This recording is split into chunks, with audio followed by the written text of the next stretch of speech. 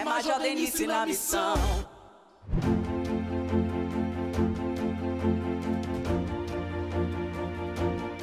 E estou seguindo no Partido dos Trabalhadores.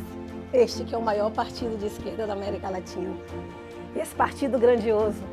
Esse partido que se confunde comigo em todas as etapas da minha vida. Lembro de meu pai me falando que esse país mudaria quando o seu Luiz Inácio fosse presidente. Sabe por quê?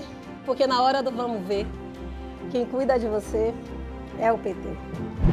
Minhas amigas e meus amigos, é uma honra estar com vocês para falar da Major Denise, nossa futura prefeita de Salvador.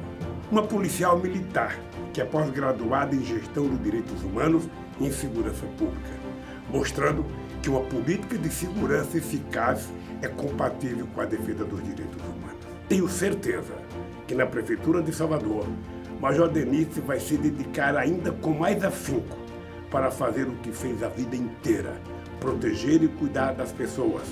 Para fazer tudo o que fizemos, foi fundamental ter a parceria com Lula. Imagino que Salvador também pode ganhar quando tiver na prefeitura alguém parceira de Rui e que ainda tem a cara da cidade. Por isso, no dia 15, todo mundo tem que apertar 13 e eleger Major Denise prefeito. Juntos chegaremos ao segundo turno.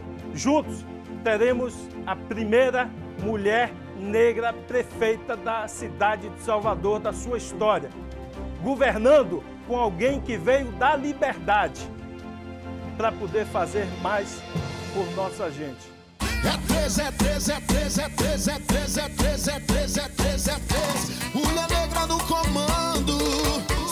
É forte 13. É delícia, meu povo.